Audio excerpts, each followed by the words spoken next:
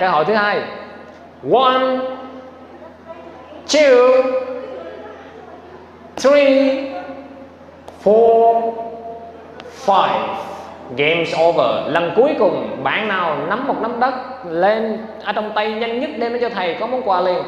One, two, three, four, five who is the first one? Come here lên đây nắm đất của con đâu? Đưa đây. Nắm đất đâu chỉ? Bạn chỉ nắm đất chính là thân của bạn đúng không? Dạ. Cho một tràng vỗ tay đi. Cho thầy xin đất bạn hãy giải thích tại sao nắm đất là bạn. Quay xuống đi con. Cảm ơn con.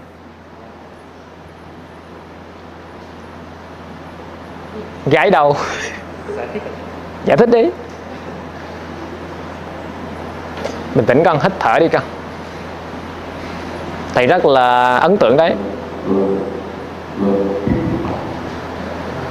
Thưa bạn thầy sao mà thầy à, bảo nắm mà nắm đất hai lại ôm người không đưa lên. Vì là mình à, là sinh ra từ đất, mình cũng là một phần đất vỗ tay đi nào. Ok. Tiếp một câu nè, mình sinh ra từ đất đâu? Không hiểu, chưa hiểu lắm. Như thế nào là gọi là mình sinh ra từ đất? Rõ ràng là mình ngồi đây mà, đất ngoài kia mà. Thế nào là mình sinh ra từ đất?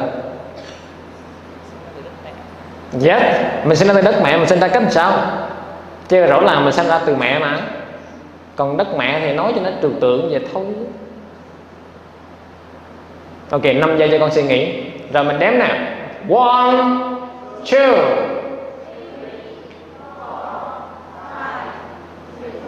Rồi, mời con về chỗ. Cho bạn một tràng vỗ tay nữa đi. Nắm đất ở trên tay của thầy nè là của một bạn chạy vô đây đưa lên. Chạy rất là nhanh 5 giây rồi tới nơi luôn. Và bạn như kia lủi lủi lên đây, chỉ đất nè ok, mình không ăn một bữa thì sao? Chịu nổi. Bữa thứ hai chịu nói không? Bữa thứ ba? Bữa thứ tư?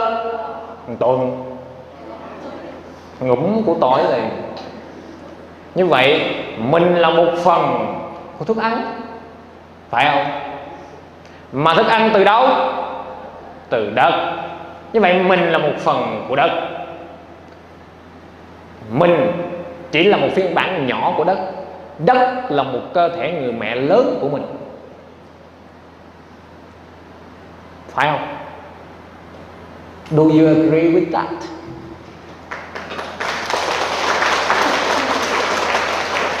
Rất ấn tượng, tự tin lên đây, đất này đất này. Nhớ nhà không? Vì nhà mà nó quánh vô á đất cái đất cái quánh đi. Vì nhà mà người ta mắng vô á, vì nhà mà người ta bỏ rơi, vì nhà mà người ta không yêu thương mình nữa, thì nói đất đất nha con. Chứ đừng có nói, tại sao tôi số phận của tôi? Tại sao phải là tôi? Nhớ lại đất.